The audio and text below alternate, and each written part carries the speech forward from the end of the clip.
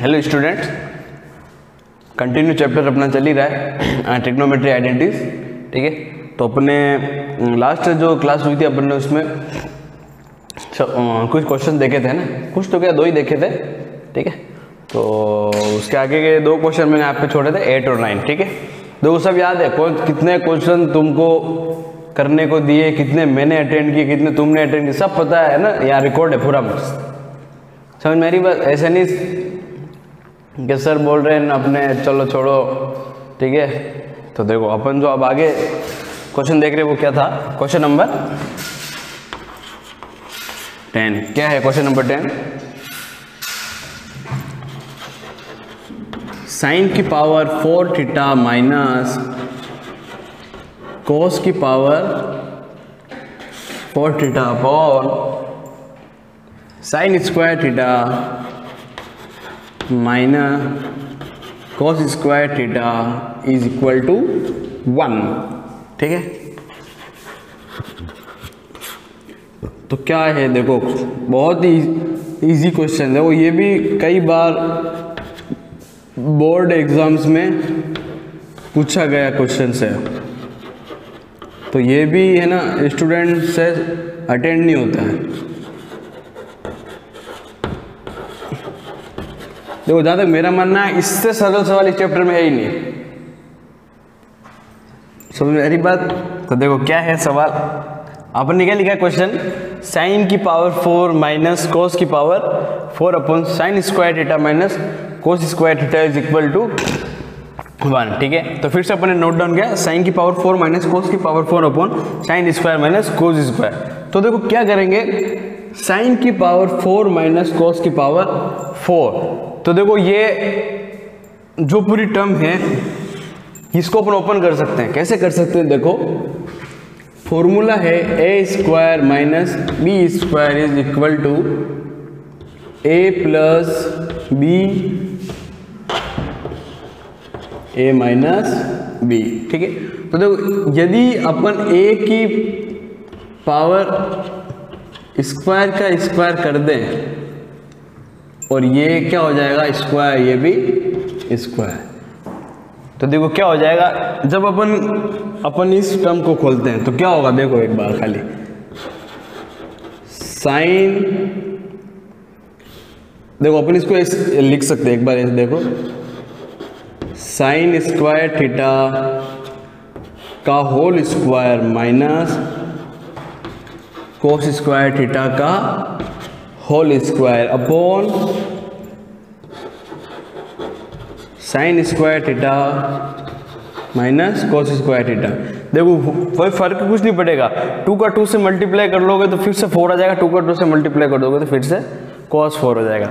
ठीक है? तो देखो, अब ये फॉर्मेट बन गया A square minus B square ये पूरा स्क्वायर है। पूरा स्क्वायर मतलब ए क्या है? साइन स्क्वायर थीटा बी क्या है? कोस स्क्वायर थीटा ठीक है? तो A square minus B square से ये ओपन होगा। तो क्या बनेगी term sine square theta plus cos square theta sine square theta minus cos square theta upon sine square theta minus cos square theta तो बहुत सरल सवाल है। पूरी टर्म उड़ गई। कैसे उड़ गई? Sine square minus cos square sine square minus cos square खत्म। Sine square plus cos square क्या होता है? वन तो देखो, अपने को यही प्रूव करना था। Sine power four minus cos power four upon sine square minus cos square is equal to one तो देखो वन आ गया। आ गया। देखो, बहुत सरल है। कुछ भी नहीं है। साइन की पावर फोर साइन की पावर फोर कोस की power four then sine square minus cos square तो अपन ने इसको इस फॉर्म में लिखा है ना साइन स्क्वायर का whole square minus cos square का होल स्क्वायर क्यों लिखा? क्योंकि देखो ए की वैल्यू पूरी क्या बन जाएगी? साइन स्क्वायर बी की वैल्यू पूरी क्या बन जाएगी? कोस स्क्वायर ठीक है? फिर sine square minus cos square फिर sine square plus cos square sine square minus cos square ठीक है? मतलब क्यों खोला? A plus B A minus B ठीक है? तो sine square theta minus cos square theta पूरा term cancel sine square plus cos square is equal to क्या होता है? वन समझ में आई? तो यही अपने को प्रूफ करना था। समझ में आया कि नहीं आया? ठीक है? नेक्स्ट देखो, यदि सब जो क्वेश्चन है सॉल्व नहीं होते हैं तो इसको साथ साथ में नोट डाउन भी करते रहो ना बाद में बैठ के समझ सकते हो ना, कैसे किया है, क्यों किया है ना, कौन से फॉर्मूले लगाए हैं। देखो नेक्स्ट क्वेश्चन नंबर इलेवन क्या है?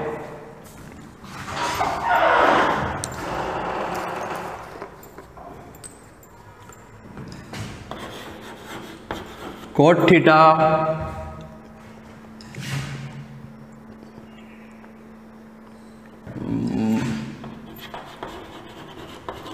minus tan theta is equal to one minus two sine square theta upon sine theta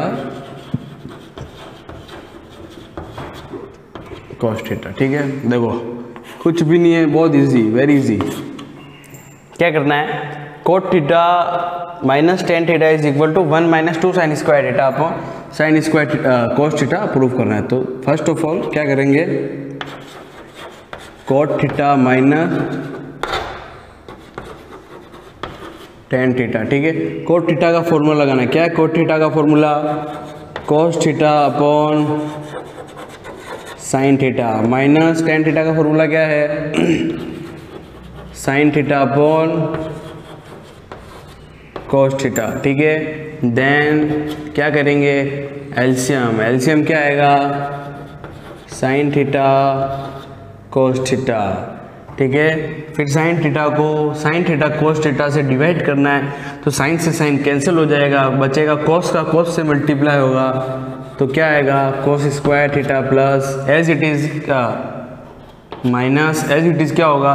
sign theta cos theta को कोस थीटा से डिवाइड करना है तो कोस से कोस कैंसिल हो जाएगा, बचेगा क्या? साइन साइन का साइन से मल्टीप्लाई होगा देन क्या बचेगा? साइन स्क्वायर थीटा देखो, यहाँ पर cos square theta minus sine square theta है प्लस नहीं है। तो ऐसा नहीं, यहाँ पे आगे जाके वन रख दो। समझ मेरी बात? थोड़ी सी समझने वाली बात है। वो यदि यहाँ पे प्लस होता तो ये आगे वन हो जाता। क्यों होता? क्योंकि ये फॉर्मूला है, लेकिन यहाँ पर माइनस है ना cos square theta minus sine square theta तो देखो, यहाँ पर अपने को क्या करना है? अब कोस स्क्वायर का लगाना है फॉर्मूला कोस स्क्वायर का फॉर्मूला क्यों लगाना है? क्योंकि अपने को प्रूफ क्या करना है? One minus two sine square theta समझ मेरी बात? तो देखो, यहाँ पर अगर वन प्लस इस साइन का लगाओगे तो कोस में आंसर आएगा। इसलिए अपने को कोस का फॉर्मूला लगाना है। तो कोस थीटा का फॉर्मूला क्या होता है? Cos square theta is equal to one minus sine square theta तो देखो कोस की जगह अपने को क्या रखना है? One minus sine square theta minus sine theta upon sine theta cos theta समझ में आई बात? तो देखो, क्या किया? One minus sine theta one minus sine theta कहाँ से आया? यहाँ से आया। क्यों आया? क्योंकि अपन ने कोस स्क्वायर का फॉर्मूला इसलिए रखा है क्योंकि अपने को आंसर साइन स्क्वायर में चाहिए। समझ आ बात अपन चाहते तो ये वन माइनस कोस भी रख सकते थे, लेकिन वो यहाँ पर फॉर्मूला लग ही नहीं रहा है तो अपने को नहीं रखना है। समझ में ही बात? कोस स्क्वायर का अपने फॉर्मूला लगा one minus sine square minus sine square देखो, अब क्या हो रहा है? वन माइनस देखो माइनस का साइन स्क्वायर एंड माइनस का साइन स्क्वायर तो क्या हो जाएगा? ऐड हो जाएगा। ऐड हो जाएगा तो वन देखो यदि माइनस का वन एंड माइनस का वन है तो ऐड होके क्या बनता है? माइनस का टू बनता है। समझ में एक बार तो माइनस का साइन स्क्वायर एंड माइनस का साइन स्क्वायर क्या हो जाएगा? Two sine square upon sine theta cos theta तो आपने को प्रूफ क्या करना था? ठीक है तुम क्या लिख ठीक है? L H S is R H S देखो, बहुत इजी है, कुछ भी नहीं किया क्वेश्चन में। ठीक है? Cot theta minus tan theta is equal to one minus sine theta upon sine theta cos theta है, ठीक है? तो क्या होगा?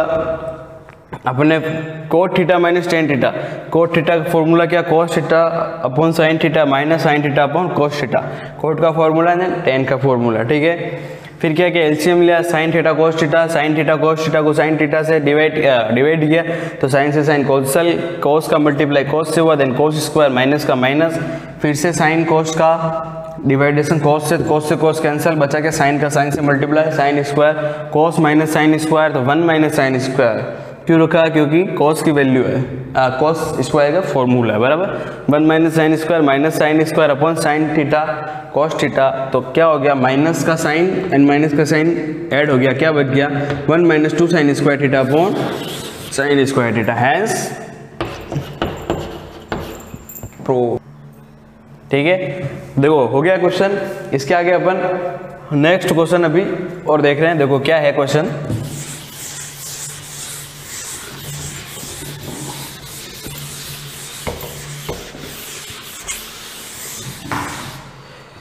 देखो क्वेश्चन नंबर फोर्टीन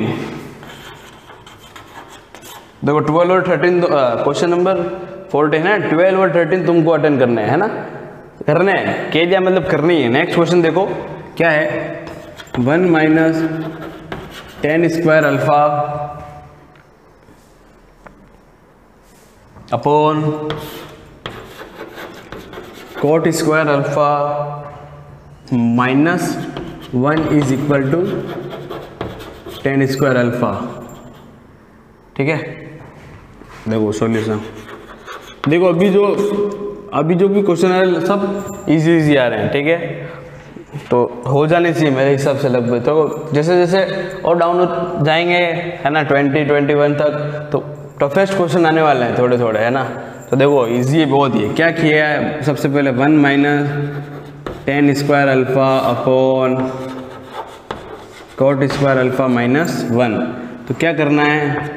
न्यूमिनेटर को तो छेड़ना ही नहीं, अपने को ऐसे कैसे ही चलने देना है। डिनोमिनेटर में क्या करना है? कोट स्क्वायर कोट स्क्वायर का अपने को फॉर्मूला लगाना है। One upon tan square alpha minus one क्या किया? कोट स्क्वायर का फॉर्मूला क्या, है ना? देखो कोट स्क्वायर का फॉर्मूला क्या है? कोट का फॉर्मूला मैंने बताया ही था। वन अपॉन टेन थीटा तो स्क्वायर लग गया तो यहाँ पर भी स्क्वायर हो गया। ठीक। तो कोट स्क्वायर की जगह क्या हो गया? One upon tan. Then one minus tan square alpha upon one upon, देखो अब क्या करेंगे यहाँ? एलसीएम लेंगे। एलसीएम क्या आएगा? टेन स्क्वायर अल्फ़ा, ठीक है? तो क्या करेंगे? टेन स्क्वायर अल्फ़ा को टेन स्क्वायर से डिवाइड करेंगे तो क्या आएगा? वन वन का मल्टीप्लाई वन में तो वन, माइनस का माइनस देन टेन स्क्वायर को वन से डिवाइड करेंगे तो one tan square tan square का वन में मल्टीप्लाई करेंगे तो टेन स्क्वायर अल्फ़ा ठीक है? देखो न्यूमरेट वन अपोन में भी डिवाइडेशन है, बराबर? मतलब जब भी अपोन के अंदर अपोन अपोन के जब अपोन में अपोन होता है ना, जैसे देखो क्या है? One minus tan square alpha upon one minus tan square alpha into tan square alpha हो जाएगा, ठीक है? देखो, जब भी न्यूमरेटर के डिनोमिनेटर्स में भी न्यूमिनेटर अपन डिनोमिनेटर होता है मतलब फ्रैक्शन होता है ना मतलब क्या है कि ये डिनोमिनेटर है और ये न्यूमिनेटर क्या है? डिनोमिनेटर में फ्रैक्शन है ना? जो फ्रैक्शन जब इनटू में चल चलता है ना इनटू में जाने के बाद उसका चेंज हो जाता है। चेंज मतलब कैसे? जो डिनोमिनेटर से वो न्यूमिनेटर्स बन जाता है और जो न्यूमिनेटर से वो डिनोमिनेटर से बन जाता है। देखो तो ये ये भी यहाँ पे क्या था? न्यूमिनेटर्स था, है ना? तो यहाँ पे क्या गया डिनोमिनेटर्स और यहाँ पे डिनोमिनेटर्स से तो यहाँ पे न्यूमिनेटर्स बन गया, समझ में मतलब अब हिंदी में बताता बताता हूँ, जो अंश बटा जो हर होता है ना तो जब गुणा में जाता है ना मतलब मल्टीप्लाई में जाने के बाद, अंश जो होता है वो हर में चेंज हो जाता है जो हर होता है वो अंश में चेंज हो जाता है। तो क्या हो गया? One minus tan square alpha upon one minus tan square alpha into tan square alpha क्यों की टेन स्क्वायर डिनोमिनेटर्स में था तो देखो, one minus tan square alpha upon one minus tan square alpha से कैंसल, बचा क्या? Tan square alpha. That is a proof ठीक है, बहुत ईजी है, देखो, कुछ भी नहीं था सवाल में। One minus tan square alpha upon cot square alpha minus one is equal to tan square alpha क्या किया? One minus tan square question लिखा one minus tan square alpha one upon tan square किया। क्योंकि क्या? क्योंकि cot square का formula minus one upon one then क्या किया अपन ने यहाँ पर? एलसीएम लिया। एलसीएम क्या है? टेन स्क्वायर टेन स्क्वायर को टेन स्क्वायर से मल्टी डिवाइड किया। तो वन वन का मल्टीप्लाई वन में वन माइनस टेन स्क्वायर को वन से डिवाइड किया। टेन स्क्वायर टेन स्क्वायर को मल्टीप्लाई किया। वन में टेन स्क्वायर देन क्या किया? चेंजिंग किया साइड चेंज कर दिया ना? One minus tan square alpha upon one minus tan square upon into tan square क्यों किया? क्योंकि ये चेंज हो गया, है ना? तो इस पूरी one minus tan square alpha से टेन स्क्वायर अल्फ़ा कैंसिल बचा क्या? टेन स्क्वायर अल्फ़ा समझ में आई बात? तो ये क्वेश्चन अपने देखो सॉल्व ठीक है? देखो अपने फोर्टीन क्वेश्चन तक सॉल्व हो गए हैं। ठीक है? मतलब फिफ्टी परसेंट चैप्टर अपना कंप्लीट हो गया है। ठीक है फिफ्टी परसेंट बाकी है। और फिफ्टी परसेंट में दम निकलेगा। समझ मेरी बात? ये तो कुछ भी नहीं थे क्वेश्चन ठीक है? तो मेरा क्या कहना है? एक तो फॉर्मूला फॉर्मूले याद करने और प्रैक्टिस बरोबर, बराबर करनी है, ठीक है? समझ में आई बात? इसके आगे जो भी एक क्वेश्चन है, वो अपन अपनी नेक्स्ट क्लास में अटेंड करेंगे, ठीक है? Thank you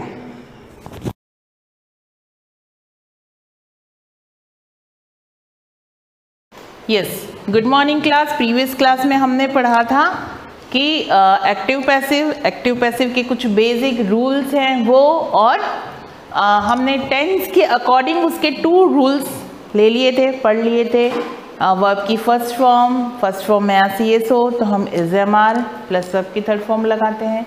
देन अगर वर्ब की सेकेंड फॉर्म हो तो हम वॉज़ वर्ब प्लस वर्ब की थर्ड फॉर्म लगाते हैं। थर्ड फॉर्म एक्टिव पैसिव में मेन है तो अकॉर्डिंग टू टेंस जब तक हम चल रहे हैं, तब तक वही चलता रहेगा थर्ड फॉर्म के साथ। जैसे जैसे हम आगे और रूल्स चेंज करेंगे, हम आगे और भी पढ़ते जाएँगे। आज हम फिर से टू रूल्स पढ़ रहे हैं, जिसमें से फ़र्स्ट हम लेंगे, जो हमारा थर्ड रूल है, वो है डज नॉट या। डू नॉट प्लस वर्ब की फ़र्स्ट फॉर्म हो तो। Is am are plus not plus verb की थर्ड फॉर्म यूज़ होगी। ठीक है? अब हम इसको बाय एग्ज़ाम्पल कुछ पढ़ लेते हैं। बाय एग्ज़ाम्पल हम इसको क्लियर करते हैं।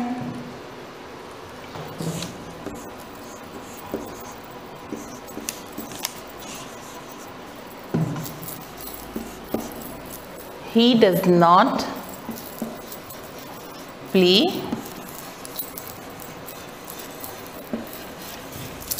football पहले भी लास्ट वीडियो में भी बताया था सब्जेक्ट ऑब्जेक्ट में चेंज होगा ऑब्जेक्ट सब्जेक्ट में चेंज होगा। तो हम यहाँ पे ले लेते हैं, हमारा सब्जेक्ट बनेगा football football is not played by him अब जब यहाँ पर हम एक्टिव के सेंटेंसेस में पीछे हिम आता है तो हम उसको सब्जेक्टिव फॉर्म में जब चेंज करते हैं तो ही में चेंज करते हैं। उसी तरह जब यहाँ पर सब्जेक्टिव फॉर्म में ही आएगा तो हम उसको ऑब्जेक्टिव फॉर्म में हिम में चेंज करेंगे। एक और एग्ज़ाम्पल देख लेते हैं।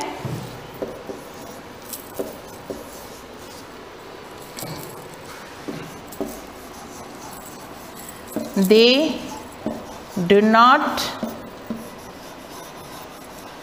help me.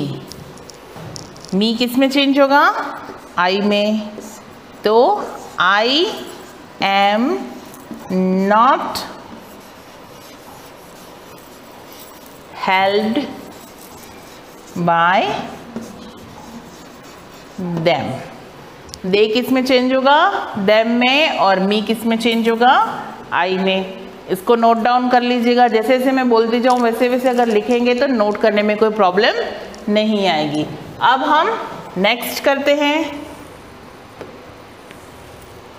नेक्स्ट हम ले लेते हैं। डिड नॉट प्लस वर्ब की फ़र्स्ट फॉर्म हो तो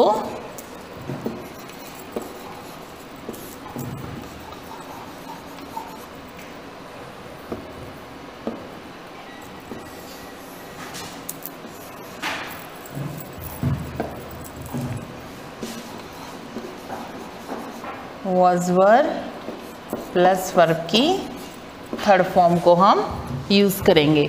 इसके भी कुछ एग्जाम्पल्स देख लेते हैं। फ़र्स्ट एग्ज़ाम्पल हम लेते हैं। We did not cut green trees ठीक है? ये क्या है? सब्जेक्ट ये हमारा हेल्पिंग हो गया वर्ब हो गया और ये हो गया हमारा ऑब्जेक्ट अब जब इस तरह के ऑब्जेक्ट्स आते हैं ना तो सिर्फ़ ट्री नहीं लेना है। जब हमें ऑब्जेक्ट में दे रखा है ग्रीन ट्री दैट मीन्स वो पूरा एक ही ऑब्जेक्ट हुआ, इसको हमें अलग अलग नहीं करना है। तो हम इसको क्या करेंगे? Green green trees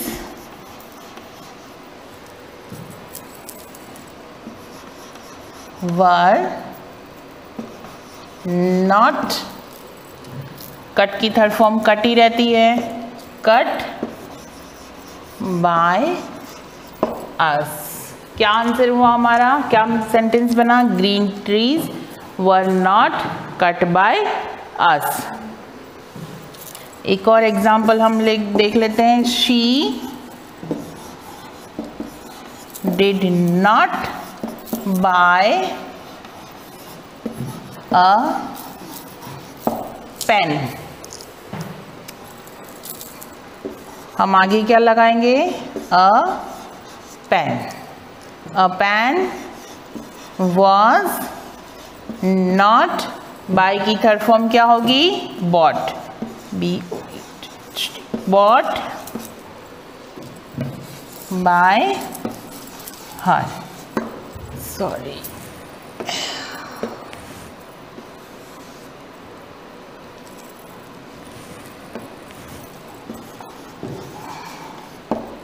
her ठीक है?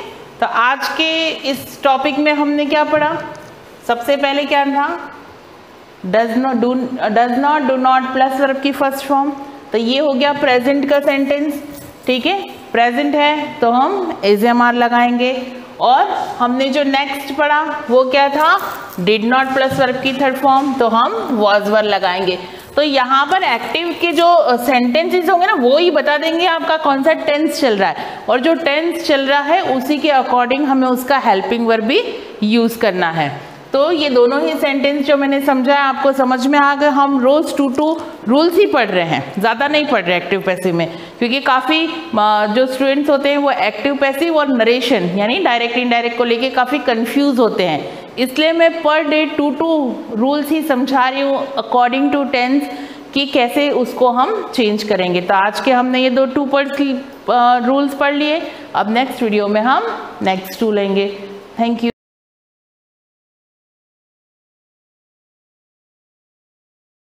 गुड मॉर्निंग बच्चों। अपना जो टॉपिक चल रहा था, कल तक अपन ने जो पढ़ा था, उसके अंदर फंक्शनल ग्रुप के बारे में अपन पढ़ रहे थे, और फंक्शनल ग्रुप अपना लगभग पूर्ण हो गए थे, और फंक्शनल ग्रुप में अपन ने क्या क्या देखा था?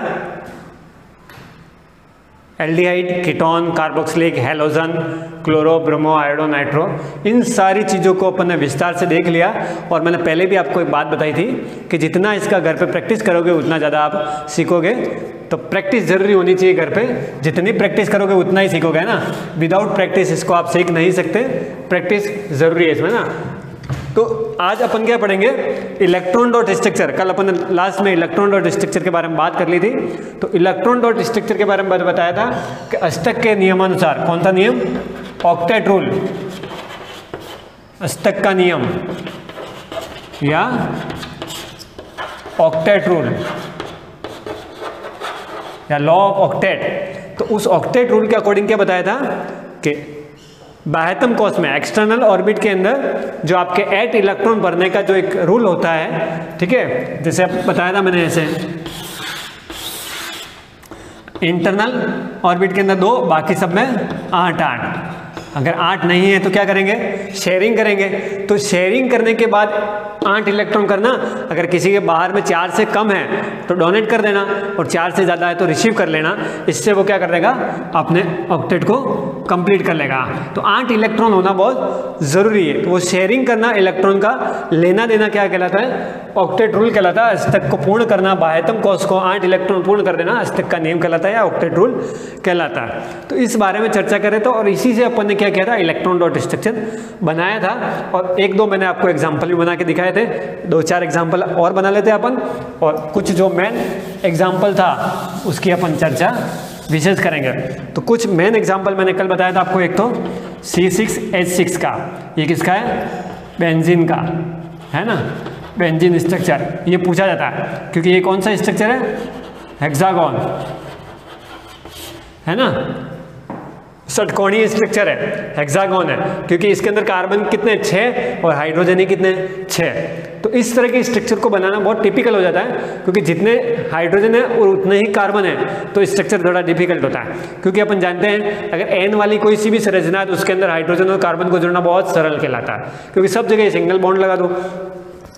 इन वाले जितने भी होते हैं, वहाँ डबल बॉन्ड लगा के बनाओ। आइन वाले जितने भी होते हैं ट्रिपल बॉन्ड लगा के बनाओ। तो वो थोड़ा स्ट्रक्चर ईजी सा लगता है, क्योंकि उसके अंदर हाइड्रोजन कम से कम कार्बन से ज़्यादा तो होते हैं, लेकिन उसकी बॉन्डिंग बनी जाती है। लेकिन यहाँ हाइड्रोजन और कार्बन सेम है। Numbers of carbon numbers of hydrogen equal so it's a typical structure but we draw here कैसे बनता है स्ट्रक्चर देखो बेंजिन स्ट्रक्चर कैसे बनाना देखो।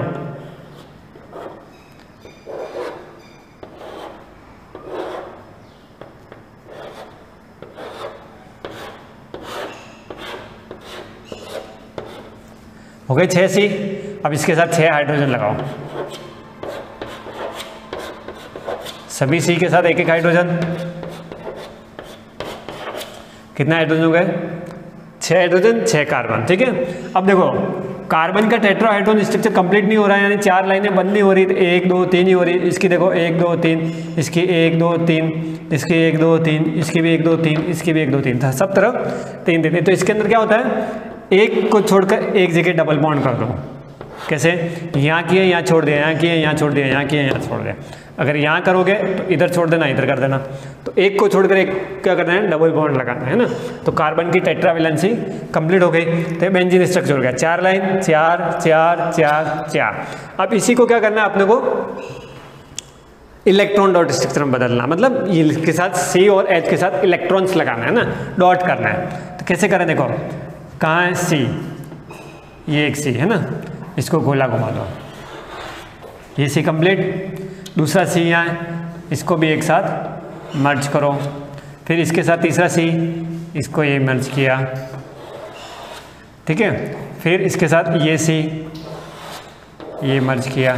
इसके साथ ये सी, ये मर्ज किया। और ये वाला छट्टा C at the last end तो सी सी सी सी सी। हो गया? अब इन सब के साथ क्या जोड़ना है? एक एक H H H H H H और एच तो एच लिख देंगे एच वाले गोले में। अब सबसे मेन चीज़ बॉन्डिंग फ़र्स्ट कार्बन से लेकर सेकंड कार्बन के बीच डबल बॉन्ड है। तो फ़र्स्ट अपन इसको दिया था सेकंड ये कार्बन इनके बीच में दो लाइन है। तो हमेशा क्या कहा था मैंने कल?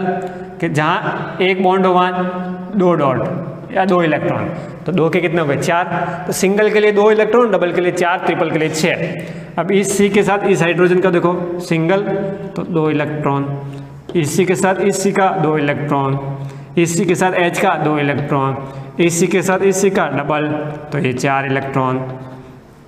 फिर इसी के साथ एच का दो इलेक्ट्रॉन। इसी के साथ इसी का दो इलेक्ट्रॉन। इसी के साथ एच का ये दो इलेक्ट्रॉन। इसी के साथ इसी का डबल इलेक्ट्रॉन तो चार डॉट। फिर इसी के साथ इस एच का दो इलेक्ट्रॉन। इसी के साथ इसी का ये दो इलेक्ट्रॉन। इसी के साथ एच का ये दो इलेक्ट्रॉन। गिनो अब एच के कितने चाहिए? दो। तो ये एच का गोला देखो। अपने साथ, इसको अपने साथ शेयर कर रहा है।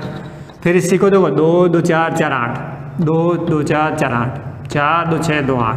दो दो, चार और चार, आठ। चार, दो छः और दो, आठ। दो दो, चार और चार, आठ। इस तरह हाइड्रोजन और कार्बन का जो रूल था, या कार्बन और हाइड्रोजन के इलेक्ट्रॉन्स थे, वो कंप्लीट हो गया और ये क्या बन गया एक इलेक्ट्रॉन डॉट स्ट्रक्चर तो आप शेयरिंग करने के लिए अगर देना चाहो तो क्रॉस करके हाइड्रोजन को दे दो और डॉट करके कार्बन को दे दो।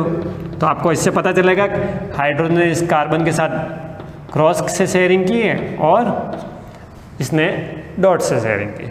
तो ये जो इलेक्ट्रॉन डॉट स्ट्रक्चर ये बेंजीन का ये ध्यान रखना, ये इंपॉर्टेंट स्ट्रक्चर है। किसका है बेंजीन का। बेंजीन स्ट्रक्चर, है ना? इसी तरह साइक्लो स्ट्रक्चर्स के भी इलेक्ट्रॉन डॉट स्ट्रक्चर आएँगे। तो साइक्लो में क्या करना है आपको? एक रिंग्स बनानी है ना? साइक्लो स्ट्रक्चर जितने भी होंगे, वो रिंग्स के रूप में होंगे। रिंग्स मतलब वलय के रूप में, है ना? कैसे बनेंगे? कि जैसे मान लो साइक्लोपेंटेन है। एक एग्ज़ाम्पल लेते हैं अपन साइक्लोपेंटेन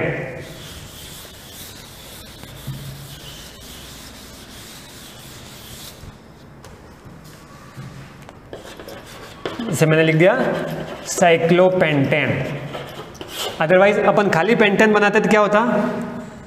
पेंटेन का स्ट्रक्चर ऐसे बनता।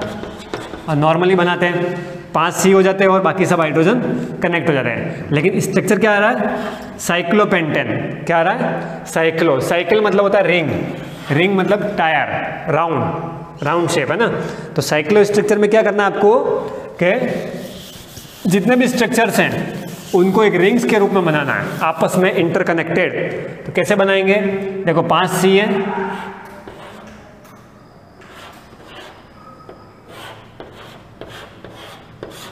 ये पाँच सी हो गए। ठीक है? ये पेंटेन भी है और साइक्लोपेंटेन भी है ना? क्या कहलेंगे इसको? पेंटेन स्ट्रक्चर भी कहलाएगा और साइक्लो पेंटेन भी कहलाएगा। तो इसके साथ क्या कर देना है? दो बॉन्ड की कमी हो रही है, दो बॉन्ड इसके साथ हाइड्रोजन के कनेक्ट कर दो। तो ये डबल बॉन्डिंग हो जाएगी। तो इसको क्या कहेंगे? साइक्लो स्ट्रक्चर क्या बोलेंगे? साइक्लो स्ट्रक्चर है ना? तो ये क्या बन गया आपके? साइक्लोपेंटेन अदरवाइज़ पेंटेन कैसे होता है, आप जानते हो? अब ये भी ध्यान रखना, जब साइक्लो स्ट्रक्चर बनेंगे तो हाइड्रोजन के नंबर से वो दो कम हो जाएँगे। क्यों? क्योंकि इसके अंदर सारे कार्बन क्या है? इंटरकनेक्टेड है एक दूसरे से, है ना? उसमें क्या था? एक कार्बन एक कार्बन से कनेक्ट हो रहा था। इसमें देखो, एक कार्बन इससे भी कनेक्ट हो रहा है, इस कार्बन से भी हो रहा है। तो ये इस तरह जो स्ट्रक्चर बनता है, उसको बोलते हैं साइक्लो स्ट्रक्चर जैसे साइक्लोप्रोपेन होना तो क्या हो गया? ये साइक्लोप्रोपेन है ना, इसके साथ दो एच ये दो एच तो क्या हो गया ये? साइक्लोप्रोपेन ठीक है? तो ये चीज़ ध्यान रखनी हमें कि जब भी साइक्लो स्ट्रक्चर बनेंगे तो रिंग बनेगी, है ना? एक इंटरकनेक्टेड कार्बन बनेंगे, जिसके साथ कुछ बॉन्डिंग नहीं आएगी। ऐसे ऐसे नहीं लेना आपने वो। है ना? सीक्वेंस नहीं लेना है स्केलेटन नहीं बनाना है। इसको सबको आपस में कनेक्ट करना है ना? तो ये एक साइकिल के रिंग होती है ट्यूब होती है टायर होता है, वैसे ये आपस में कनेक्ट हो जाएँगे। इन्हीं को क्या बोलेंगे? साइक्लो स्ट्रक्चर क्लियर तो ये हो गया आपके साइक्लो वाली बातें। फिर मैं आपको एक्स्ट्रा चीज़ें दो बताने जानू वो है आपके, एक तो नियो स्ट्रक्चर और एक आईएसओ स्ट्रक्चर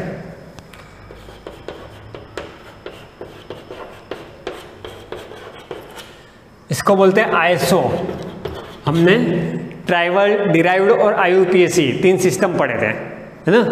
तो ट्राइवल सिस्टम के अंदर ही दो स्ट्रक्चर और आ रहे थे अपने ISO and then neo.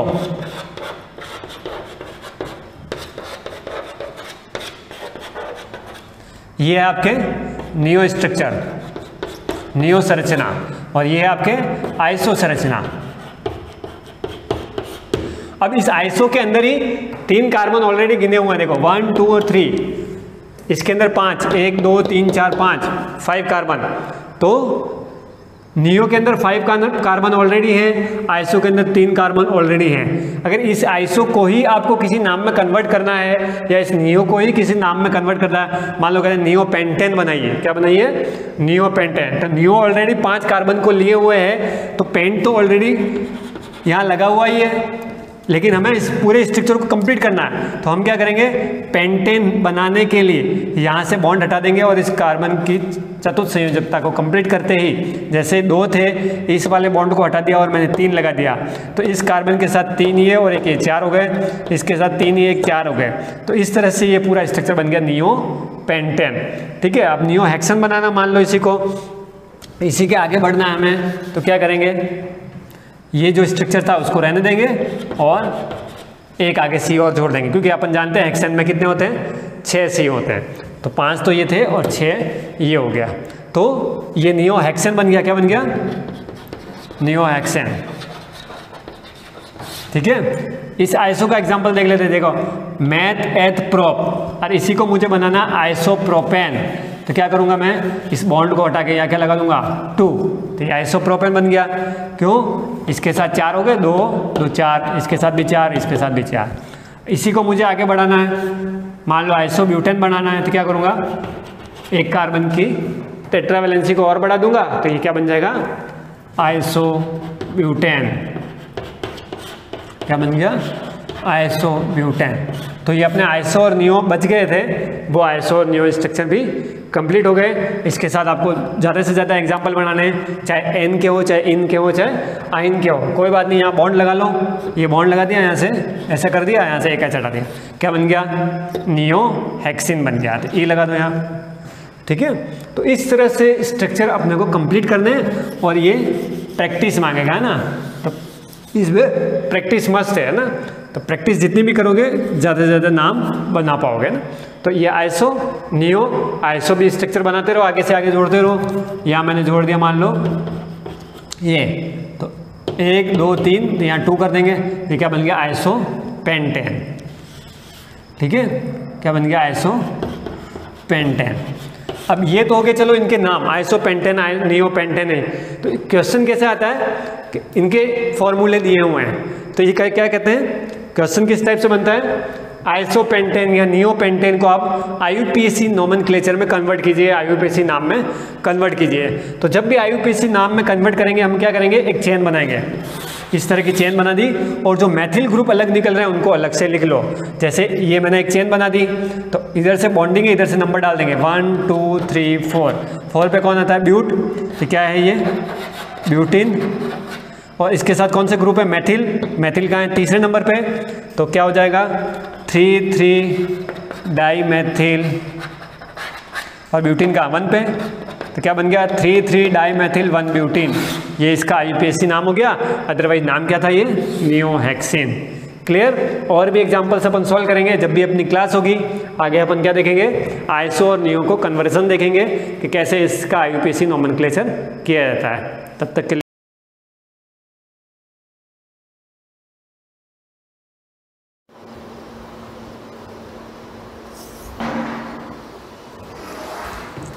Uh, so good morning students. Again first of all hopefully you will have enjoyed a very happy Rakhi. Uh, because of this lockdown maybe this festival uh, maybe in a limited form but then also again best wishes of Rakhi. And now we resume our class. As you remember we had previously learnt about uh, Gupta dynasty and uh, some rulers, important rulers of Gupta dynasty. But today we will start with again one of the most important questions that is frequently asked in uh, board examinations and that is cultural achievements of Gupta dynasty. So we resume with it. Uh, slowly I'll be reading and then I'll try to explain Gupta dynasty has immense importance in cultural history of India. The first line itself shows that उसका बहुत अत्यधिक महत्व है गुप्त dynasty का जो cultural history है उसमें बहुत महत्व है क्यों महत्व है Gupta rulers were followers of Vedic religion इसको अंडरलाइन करना है आपको फ़र्स्ट अच्छा इसके अलावा भी सारे वैदिक ही थे but they were more precise ज़्यादा ये थे कि इन्होंने मॉन्यूमेंट्स बहुत बनवाए, स्मारक बहुत बनवाए। वैदिक रिलीजन को फॉलो करते थे। Samudragupta and Kumar Gupta first had even perform Ashwamedha yagya Yajna previously, as I had discussed, as I had told you, that it was exhibition of powers अपनी पावर का एग्जीबिशन था। To weak rulers और to establish your dominate over other weak rulers दूसरे के ऊपर, कमज़ोर के ऊपर अपना दबदबा दबा जाने की कोशिश करते थे। Even had perform Ashvamedha yagya they also supported Buddhism and Jainism see Buddhism and Jainism are very ancient religions the child Chinese pilgrim now underline this point very important है and that is Fahien visited India during the reign of Chandragupta second in the reign of Chandragupta second see uh, pilgrims और uh, uh, pilgrims और ambassadors whenever they came to any came they had also mention also describe उन्होंने भी वर्णन अपनी पुस्तकों में अपने वृतांतों में किया है। As now it is whenever we visit a new place तो हम क्या करते हैं? We describe about that place to a person who has not visited that place आप अपने मित्र को बताएँगे कि भाई तुम वहाँ नहीं गए हो तो, तो उसका डिस्क्रिप्शन तुम कैसे बताओगे? वहाँ की सारी अच्छी चीज़ों को तुम मेंशन करोगे। So that is thing how we come to know during the reign of Chandragupta second according to his description से आ गया उन्होंने क्या वर्णन किया? It is found that the Gupta empire was excellent in administration प्रशासन के मामले में बहुत अच्छा था। And crimes rarely took place अपराध तो बिल्कुल होते ही नहीं थे। The burden of taxes was also less जो टैक्स होते थे, उसका बर्डन बहुत कम था। Sanskrit was the official language जैसे right now Hindi and English are our official language वैसे संस्कृत उनकी ऑफिशियल लैंग्वेज थी। Then we move on Sanskrit was the official language. Kalidas, underline the point, Kalidas, the composer of the play Abhigyan Shakuntalam and the great epic Raghuvansham, Shudraka, the writer of the play Mrichikattam, uh, Vishakhadat, the writer of the play Mudraksh, and the renowned Koshkar, Amar Singh were all present in Gupta period. ये सारे के सारे ये लेखक हैं कोई कवि है कोई नाटक करता है ये सब लोग बहुत इंपॉर्टेंट है सो इन, इनके नेम्स याद करने की कोशिश करना और इनकी कंपोजिशंस याद करना। Ramayana now one of the most important points Ramayana and Mahabharata and Manu Samhita were created in their present form in Gupta period आज जिस रामायण को आप पढ़ रहे हो आज जिस महाभारत को आप पढ़ रहे हो वो गुप्त काल में बनाई गई थी।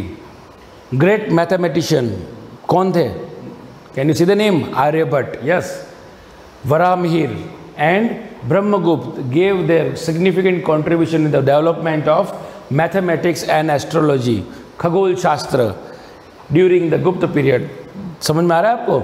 आर्ट एंड क्राफ्ट तो है ही है, इसके अलावा लेखक है लिटरेचर है।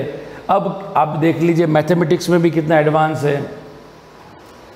द डेसिमल सिस्टम दशमलव जो पॉइंट सिस्टम है that is a contribution of India in world the decimal system was invented in this period which later reach Europe through the Arabians अरब आए थे और वो दशमलव को ले गए एविडेंसीज ऑफ आर्किटेक्चर देखिए आ गया आर्किटेक्चर पेंटिंग चित्रकला and metrological science are obtained from the remains of Jhansi and Kanpur from Ajanta cave number and from iron pillar